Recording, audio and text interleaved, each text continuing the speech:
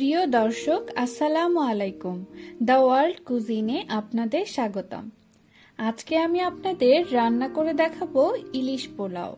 বাজারে এখন ইলিশের মৌসুম। তাই বাসায় যদি ইলিশ পোলাও রান্না না হয়, তাই কি হয়? তাই আজকে আপনাদের জন্য নিয়ে আসলাম ইলিশ পোলাওয়ের খুব সহজ একটা রেসিপি তাই রেসিপিটি দেখতে অবশ্যই ভিডিওটি শেষ পর্যন্ত দেখবেন এবং আমার চ্যানেলে এখনও সাবস্ক্রাইব করে না থাকলে অবশ্যই সাবস্ক্রাইব করে ফেলবেন। চলুন তাহলে শুরু করা যাক। এই ইলিশ পোলাও বানানোর জন্য প্রথমেই আমি কড়াইতে নিয়ে নিব পরিমাণ মতো কুকিং অয়েল তেলটা গরম হয়ে আসলে এর মধ্যে দিয়ে দেব পেঁয়াজ বাটা। সামান্য নেড়ে চেড়ে এর মধ্যে দিয়ে দেব কাঁচামরিচ বাটা। এই কাঁচামরিচ বাটা কিন্তু এর ফ্লেভারটাকে আরও ইনক্রিজ করবে। এরপরে এর মধ্যে দিয়ে দেব জিরা বাটা। চেষ্টা করবেন ইলিশ পোলাও বানাতে সব ধরনের বাটা ব্যবহার করতে। এতে করে এর ফ্লেভারটা অনেক ভালো হবে। এখন এই মশলাগুলোকে খুব ভালো মতো কিছুক্ষণ কষিয়ে নেব। এ পর্যায়ে দিয়ে দেব সামান্য পরিমাণ লবণ। সামান্য নেড়েচেড়ে এর মধ্যে দিয়ে দেব টক দই। এখানে আমি দুধের মধ্যে লেবু দিয়ে টক দইটা বানিয়ে নিয়েছি, কিছুটা বাটার মিল্কের মতো। আপনারা চাইলে টক দইও ব্যবহার করতে পারেন অথবা এভাবে বাটার মিল্ক ব্যবহার করে দেখতে পারেন, খেতে কিন্তু দারুণ লাগে। এখন এই টক দই সহ মশলাটাকে একটা বলক আসা পর্যন্ত ওয়েট করব। বলক চলে এসেছে, এখন আমি এর মধ্যে ইলিশের পিসগুলো দিয়ে দেবো। এই ইলিশের পিসগুলোকে আমি আগেই সামান্য লবণ এবং হলুদ দিয়ে মাখিয়ে রেখেছিলাম।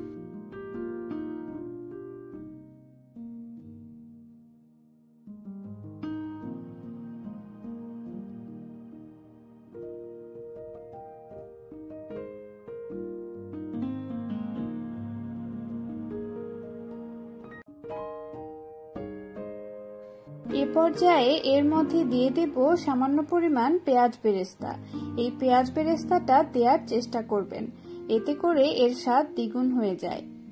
এখন এই মাছটাকে পাঁচ থেকে সাত মিনিট এভাবে টক দই আর মশলার মধ্যে রান্না করে নেব।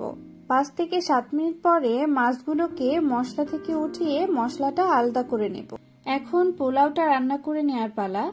এজন্য প্যানের মধ্যে আমি দিয়ে দিয়েছি সামান্য পরিমাণ কুকিং অয়েল। এখন আমি এর মধ্যে কিছু গোটা গরম মশলা দিয়ে দেব, যেমন তেজপাতা, ছোট এলাচ এবং দারুচিনি মশলাগুলোকে সামান্য ভেজে এর মধ্যে আমি আগে থেকে ধুয়ে রাখা চিনি গুঁড়া চাল দিয়ে দেব। এখন সামান্য ভেজে এর মধ্যে দিয়ে দেব লবণ।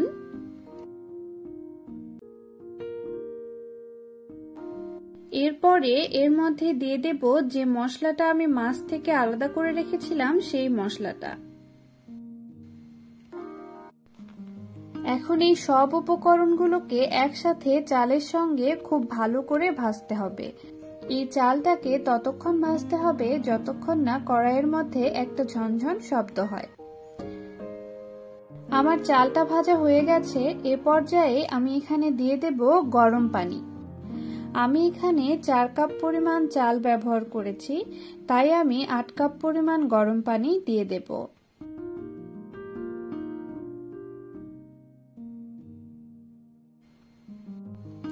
এখন আমি এটাকে ঢাকনা দিয়ে পাঁচ থেকে সাত মিনিট রান্না করে নেব। এ পর্যায়ে চুলার জালটা মিডিয়াম লোতে রাখতে হবে। পাঁচ ছয় মিনিট পরে এর উপরে আমি যে মাছগুলো আলাদা করে রেখেছিলাম, সেই মাছগুলো দিয়ে দেব। মাছগুলোকে খুব সুন্দর করে চালের উপরে বিছিয়ে দিতে হবে।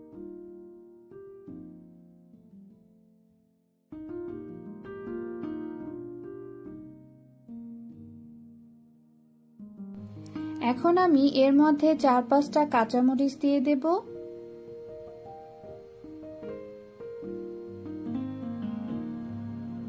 আরও দিয়ে দেব সামান্য পরিমাণ বেরেস্তা। এখন আমি এটাকে ঢাকনা দিয়ে চুলার জালটা একেবারে লো করে দিয়ে দশ মিনিটের জন্য দমে রেখে দেব। দশ মিনিট পরে চুলার জালটাকে বন্ধ করে দিয়ে এটাকে আমি ঢাকনা দেয়া অবস্থায় আরও দশ মিনিট রেখে দেব। এই দশ মিনিটের মধ্যেই পোলাওটা কিন্তু একদম পারফেক্টলি হয়ে যাবে।